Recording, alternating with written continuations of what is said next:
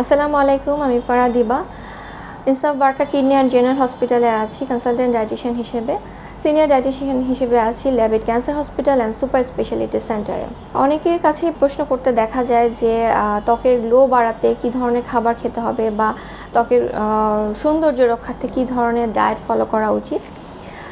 আসলে বিষয়টি হচ্ছে আপনার যখন ইনার নিউট্রিশনটা ব্যালেন্স হবে সেক্ষেত্রে আপনার আউটসাইডের যে লুকটা সেটাও কিন্তু গ্লো করবে। অর্থাৎ আপনার ইনার নিউট্রিশনটা ব্যালেন্স থাকলে আপনার সেটা বাইরেও বোঝা যাবে এবং ত্বকের যে প্রবলেমগুলো হয়, সাধারণত সেগুলো স্টমাকের কোনো একটা প্রবলেম থেকেই, কারণ স্টমাকে কিন্তু অনেক ধরনের মাইক্রো অর্গানিজম থাকে।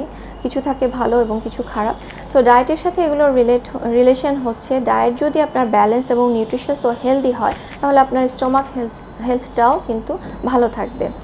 আর যেগুলো খাবার খেলে আপনার ত্বকের গ্লোটা আপনি ধরে রাখতে পারবেন, সেগুলো হচ্ছে আমরা সবাই জানি ভেজিটেবল এবং ফ্রুটস প্রচুর পরিমাণে খেতে হবে এবং আপনাকে হাইড্রেটেড থাকতে হবে, অর্থাৎ প্রচুর পরিমাণে পানি খেতে হবে। কোনোভাবে যাতে ডিহাইড্রেশন না হয়। আর ফ্রুটসের ক্ষেত্রে বলব, প্রতিদিন কমপক্ষে দুই থেকে তিনটে ফল আপনার ডায়েটে রাখবেন। ভেজিটেবলসের ক্ষেত্রে আপনার ব্রেকফাস্ট লাঞ্চ এবং ডিনারে অবশ্যই এক সার্ভিং ভেজিটেবল আপনাকে রাখতে হবে।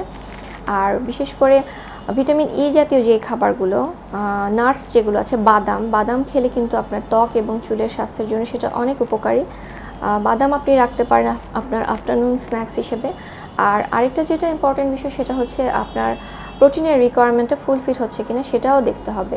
ডিম, দুধ, মাছ, মুরগি আপনার প্রতিদিনের খাদ্য তালিকা অবশ্যই থাকবে। এটা নিয়ে প্যানিক করার কিছু নয় যে আমি ডিম খেলে মোটা হয়ে যাব, দুধ খেলে মোটা হয়ে যাব, মোটেও সেই বিষয়টি না। এগুলোর কিন্তু একটা রিকোয়ারমেন্ট আপনার পার ডে থাকে। প্রতিদিন কমপক্ষে একটা করে ডিম এবং এক কাপ করে দুধ অবশ্যই খেতে হবে। সেই সাথে ফিশ চিকেনও নিতে হবে। তবে চেষ্টা করতে হবে রেড মিটটা অ্যাভয়েড করতে। রেড মিট যদি বেশি খাওয়া হয়, সেক্ষেত্রে কিন্তু ত্বকের প্রবলেম দেখা যায়।